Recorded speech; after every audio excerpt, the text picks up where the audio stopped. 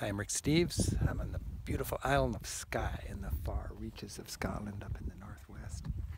And uh, it's a gorgeous island. I'm here with my guide, Colin Mairs. Hey, Colin. Hi, Rick.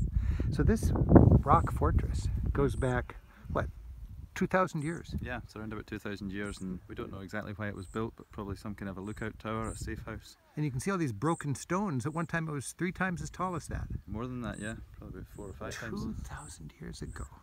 Today this Isle of Skye is quite sparsely populated. A lot of sheep, albino haggis, some travelers, beautiful expanses like this. What's the population of Skye today? Uh, today it's about 13,000 people. 30,000.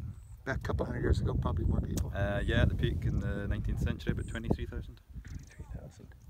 Now when we go to Scotland, of course, the thistle is the national, what is it, the national flower, the symbol? That's the flower of Scotland. Why?